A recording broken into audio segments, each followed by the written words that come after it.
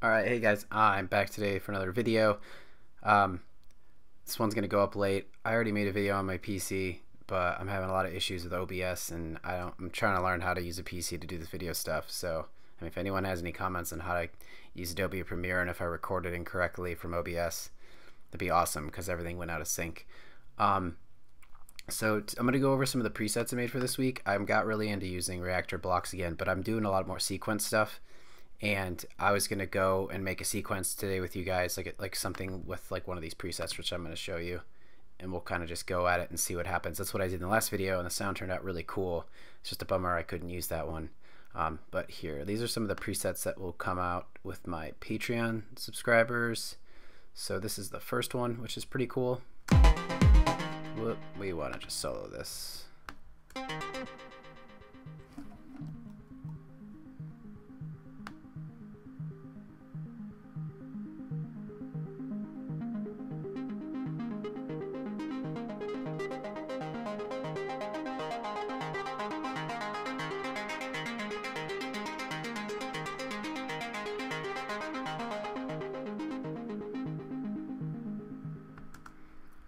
That sound. It's pretty cool. Um, I have another one. I made I made three basically kind of sequence ones. This one's kind of more of a bass, but oh man, do I turn this off? There we go.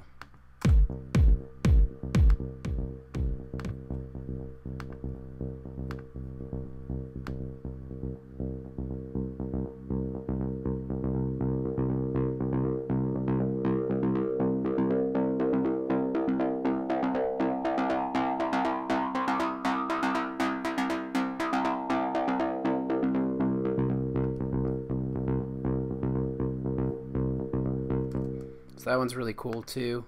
Um, and this is like modular synthesis if you're unfamiliar and watching this. Kind of like the, if you see Deadmau5 do stuff with all that gear outside of his computer. It's This is basically an inside version, like in the box, and it's pretty cool, man. Like modular synthesis is really expensive, so this is like kind of my way of getting into it, which is kind of exciting, and it's pretty addictive. Um, anyways, this is the last sound, and then we'll start going into making a, a sequencer.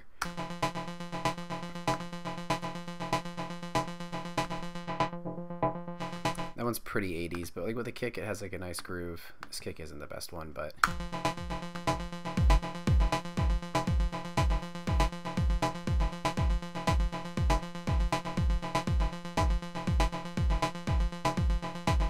So that was pretty cool. Um, let's go in and we're to turn these off, or we could actually just use one of these and we will just go and create a new block set. So I got to go to edit first off uh, we're gonna go then. We'll make this bigger so we can see everything we're doing here. We're gonna go to what am I doing? We need to go here. We're gonna edit. We're gonna go we're gonna close the core go to Reaktor Blocks. And when you click on Reaktor Blocks here that opens all the blocks but then we're gonna go to blocks new. And then we're not gonna save anything that we did right now and it's going to open up with this. This is the default. You're going to go back and hit edit again, which is going to allow you to actually click on these and change them. I'm going to get rid of the scope. I'm going to get rid of the macro switches. I'm going to keep my macro knobs because I've been using them. We're going to use sequencers for these, so we need the clock, but we're not going to use a note in this time. Um, we're going to go back in here. Oh, there we need to go to library, and then we're going to get go into our Reaktor Blocks. So what I'm, I'm going to kind of just do somewhat of a simple one. I'm just going to do two different oscillators and two different sequencers with this. So we're going to need, uh, which oscillators did I use? Let's use, let's just use these ones, the regular ones, like the bento box ones. So we're going to use this one, and we're going to use this one. So we're going to put, I'm going to need three here, because I'm going to use one for FM synthesis too. So I'm going to set up this oscillator. I'm going to label it 1. I usually label things in here. I don't know if you can label it on the other side. I think I've tried. And I, there's probably a way, but it's just easier in here. 2 and FM mod because I'm basically going to run the output of this into the FM on both of these and just use this as an, a frequency modulator. So basically the oscillator is going to send out signal into the FM section on these and then as you turn this up it's going to start modulating the signal that's coming out of here. You'll hear when we get when we start doing it, uh, kind of the effect it has. Um, put our macro here. I'm going to move these over.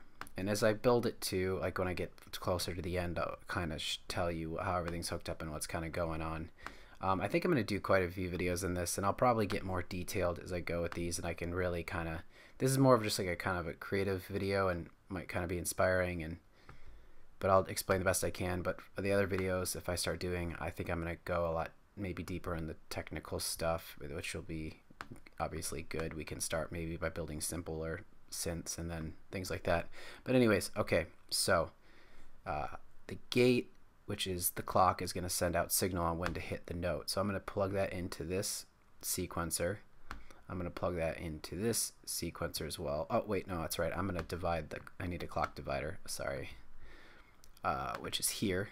So basically what this is going to do is it's going to be able to allow me to divide this MIDI clock into six different outputs and I can change the actual rhythm or uh, what's the correct term?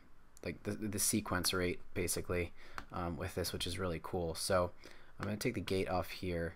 I put that on pitch anyways. Uh, so I'm going to put this one as gate 1 I'm going to put this one as gate 2 because we're only going to use 2 so basically, let me start organizing this too because this looks like a mess. Uh, it kind of gets confusing if you don't stay organized. At least I find it to be. One, two. So I'm going to go ahead and I have my FM mod. I'm going to put here for now. I'm going to put the one up here. I'm going to put the two right here. The one goes up here. The two is going to go down here. I'm going to put the clock divider up here right next to the to the uh, the MIDI clock. I'm going to put my mod uh, synth there, oscillator. Um, that's all we have for right now. Okay, now next, you can use like voltage controlled amplifiers. Um, but today, I'm just going to use these because I, I kind of find that these work better and they're really quick. They're basically just gates um, and they have like algorithms that kind of just make them pluck, which is really nice. So I'm going to take the gate 1 and put it into the pluck of this one because that is going to basically be the voltage controlled amplifier. And I said when I do another video I think when I go deeper into what all these kind of do because um, this is basically a modular synth is just taking if you have if you know how to do synthesis then this will kind of make sense because this is like the amp. Like when the voltages come in it usually would just open up the amp to the way you have it set and you would you can modulate the amplifier with an envelope, which is what you know when you have the ADSR on your synthesizer. But with these are just kind of like quick gates that already kind of have their own little uh, envelopes built in, so it makes it easier. So basically, I'm going to do this low pass gate here. I'm going to put it as 1 so I know. It's because it's going to plug into this one. So I'm just going to put the output of this into this as well. Uh, low pass gate. This will be two. Shit. There we go. Two. Not t not to whatever that two. There we go. Um, I'll put into this. I'm gonna take the gate two out of this and put it into the pluck here. And let's see. So now, basically, rather than when you hit a keyboard, you're going to get notes that are going to go into this oscillator. Today, we're going to use a step sequencer. So I'm going to take the pitch of the first step sequencer and put it into the pitch of the first oscillator. And then I'm going to do the same thing for the second, and then they will be independently controlled by these step sequencers. Um, for now, I'm just going to plug these in to our output. Uh, yeah, no, I need to mix them. Sorry. I need my mixer. So we're going to do this because I need the signals obviously to come together here. So I'm going to put them into this mixer, which will have them come out as a stereo output. So I'm going to do out to the left and to the right on this side, and I'm going to do the left for the output two and the right on this one. So now this one's going into our mixer we'll put up here. So this first one's going to come out of this. Our second one's going to come out of this area. So let's see, is everything hooked up correctly right now? We should be good to go at least to play. Let me turn down the volume, make sure nothing else is going to turn on and be loud. I'm I'm going to put it on external as well for the MIDI clock, which means if you do internal, you just click play. If you do external, it's going to basically sync to your DAW in uh, what the BPM is. So that'll kind of gray out, where now here you can choose the BPM. Now, as far as these go, let's, I don't know, how do I turn these? So you can go up to here and basically when you look at this one, it's basically, it, it's doing like 16 bars. Not 16 bars, like if it's doing one, it's like 16th notes. And say I put it up to four, it'd be like four sixteenths, which would basically come out to be quarter notes. So kind of you have to think about it in reverse. Like you would, this is not, the one is not like a whole note, basically. It's 16th notes so it, it's kind of I don't know if, if so that hopefully that makes sense. Um, again, like I'm kind of doing this more creatively today, and on another video, I think I'll really break it down, and I'll have like hopefully my new video set up with I, I have like cameras on me, and um, that might help a bit too. I can maybe do some graphs. Um, like I said, I tried that with the other video, and it just didn't work out. It semi worked. Um, so, anyways, let's go further into this right now. So we're gonna just hear one of them right now. We'll just do the top. So I'm to mute the second one. Turn it down a bit. Now I'm going to start doing modulating the frequency, which is going to, I'm going to turn this one up to 36. So it's going to go up 36 semitones or uh, three octaves. And then I'm going to start having this signal that it's sending out come in and basically start modulating this signal. So if you listen to this,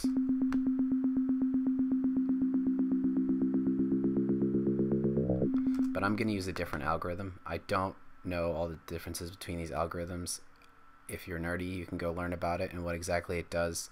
I just know that I tend to find better results with this one than the other ones. The other ones can be a bit extreme. Um, so that's something you can click on to try to get different results. I guess what you have exponential, which is going to kind of curve it up. Like, okay, we'll go a little bit into it. And then linear is going to be a straight line. I don't know what linear TZ means exactly. It must be a different type of straight line. Uh, I'm not sure. Um, so I guess I kind of did have a general idea of what's going on there now that I actually read it. Um, so let's go in and we'll start adding this on.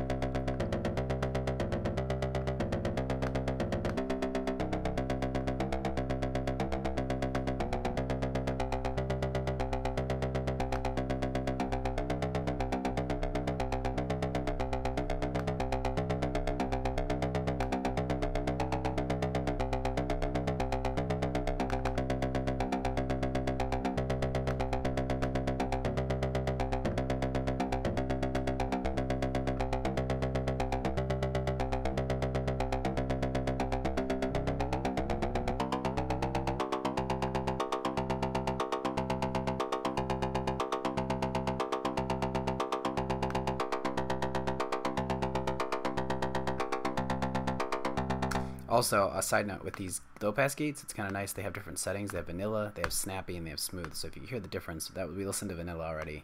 Um, you have snappy.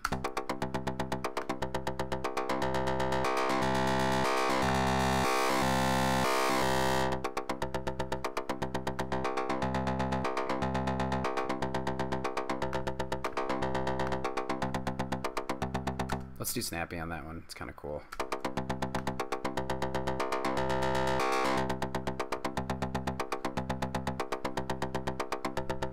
Put a little shuffle on here. I like putting shuffle on, especially later when we add delays on.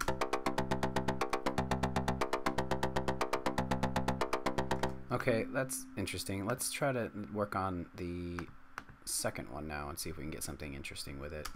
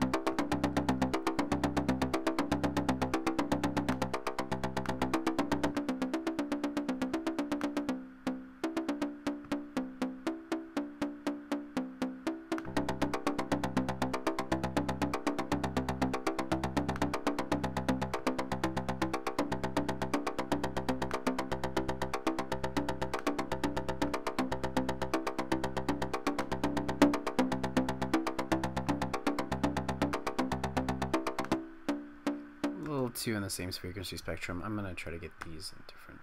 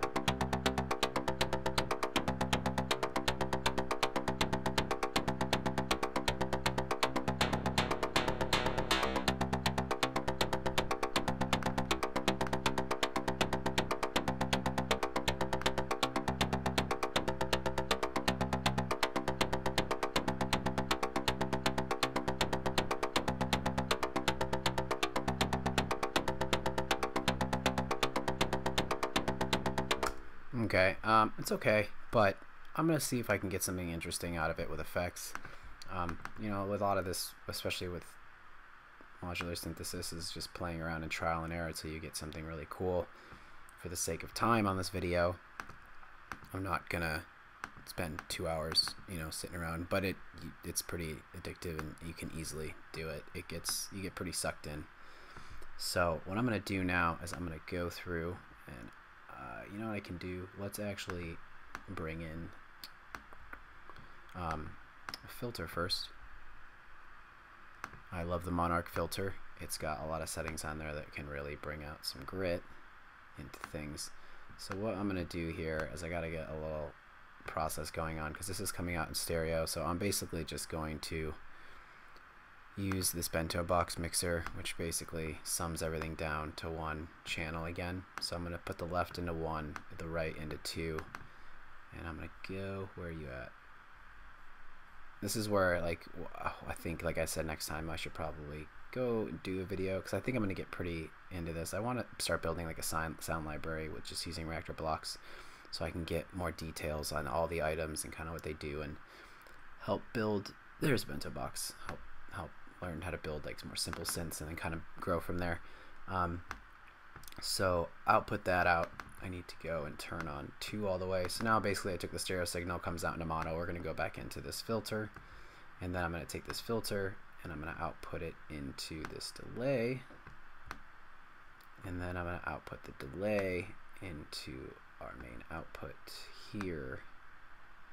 I'm going to turn down the delay to zero so we can just work with the filter first. And this is what is like what I love about this filter is you can get a lot of grit and you'll kind of see here I've been exploring using the FM and the feedback and the load points on this and it can really transform a sound.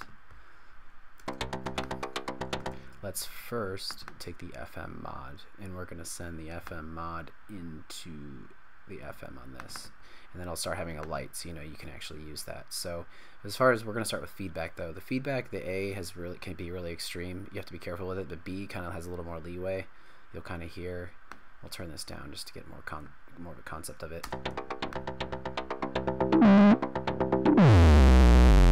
And get pretty crazy fast, but so I'm going to actually switch to B here.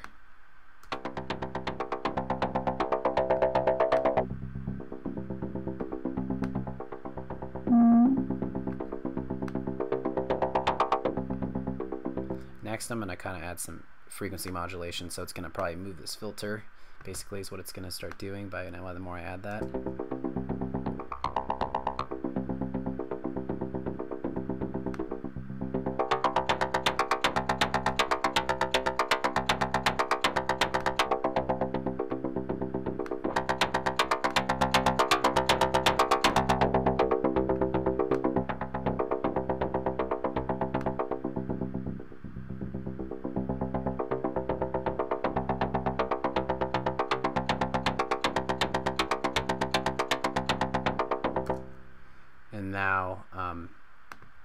Going to go ahead and start adding some delay in this and see what happens here.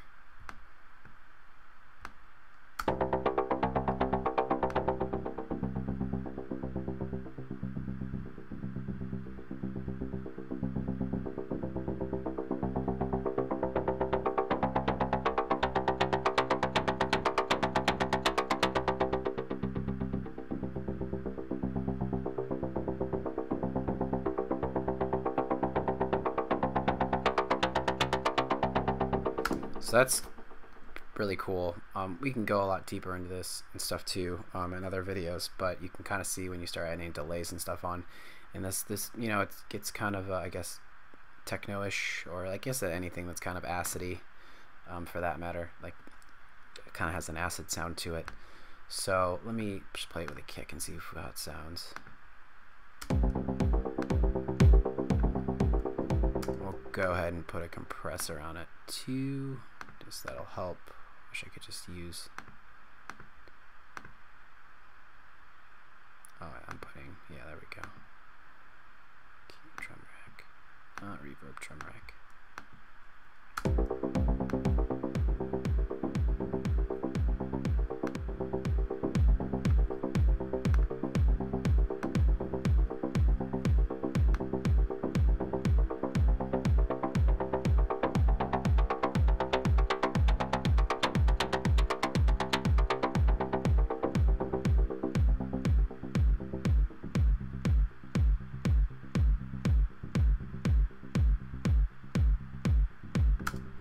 Almost think it sounds even better filtered down mainly, and you just kind of have this nice underlay, and you can start building pads over it. Let's hear that one more time.